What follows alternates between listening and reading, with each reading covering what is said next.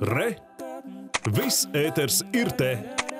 Trīskārt šojoties klientu interesē par līgumiem, cenām un valsts atbalstu, uzņēmums Latvijas gāze daudziem kļuvis nesasniedzams.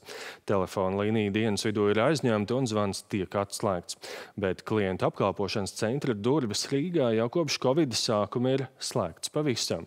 Tās vaļā vairs netiks vērtas. Uzņēmums pārorientējas uz darbu digitālā vidē, bet klientiem gados un bez datora prasmes tas rada liels grūtības, un turpināja Kīnca.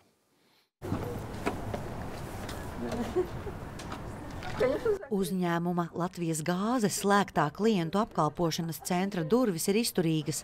Kā citādi tās izturētu to, ka ik pa brīdim kāds tās no visa spēka mēģina atvērt. Nespējot sazvanīt centru, cilvēki šurp uz vagonu ielu nāk paši. Informējam, ka šobrīd visi speciālisti ir aizņemti, un laiks līdz savienojumam ir paredzams ilgāk par 30 minūtēm. Zvans tiks pārtraukts. Tur visur tagad e, pasta, pasta šur, tur tā, a, man tā nav. Man interneta nav pensionāram. Parastais telefons gandrīz, nu, ko es tur varu nekādiem vienīgi kādam lūgt, bet man tur arī kaimiņi, nu, viena pati, vienreiz viens ir viens. Nav interneta, nu nav. Pagājušā piekdienā zvanīju, šodien no rīta zvanīju, telefonu aizņemti.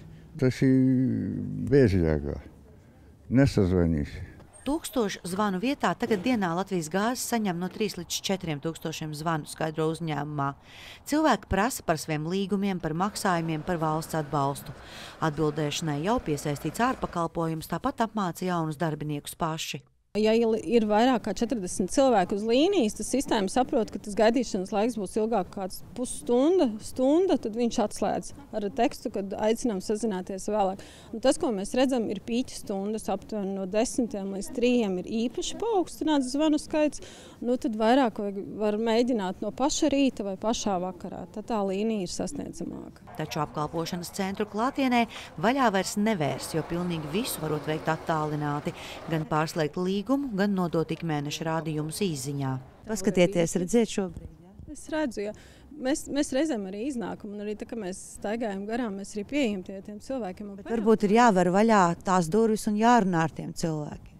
Nu, ziniet, kā, nu, tur arī ir, teiksim, tas, uh, ir ļoti liels piereduma spēks un ļoti liela daļa klientu, kas nāk šeit, ir atnāk iesniegt skaitītāju rādījumus. To var izdarīt elementāri, neizejot no mājas, arī ar podziņu telefonu.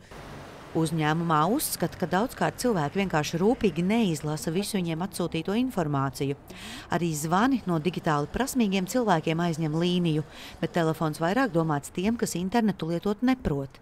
Atpakaļceļa gan nesot, Latvijas gāze turpmāk darbosies hibrīdvidē, klātienē nē. Aika Inci Vorža Pitskis, Latvijas televīzija.